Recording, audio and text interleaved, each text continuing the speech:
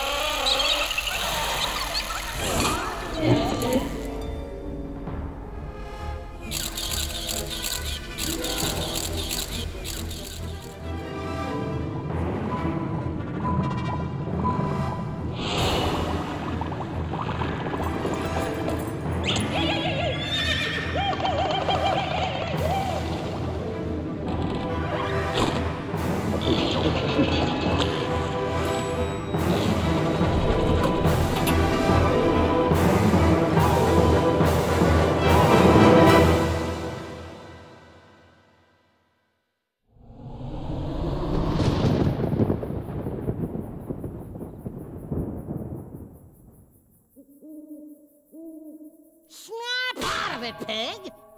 What? Oh, good. Whew, my voice still works.